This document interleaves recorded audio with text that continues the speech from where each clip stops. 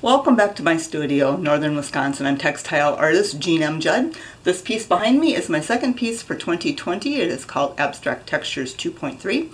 The piece is 38 inches tall by 43 inches wide. This piece is done with my signature dye painting technique where I use a foam brush and dyes to create the background and then it is densely hand stitched with a one inch needle. The undulating design of the stitching creates some great light play across the artwork. This work is available exclusively through Art Design Consultants in Cincinnati, Ohio, and this work is one of, another one of those pieces that can be hung in either a vertical or horizontal orientation. To learn more about my artwork, please visit my website at www.jeanjudd.com. I look forward to talking to you again soon. Thanks for stopping by.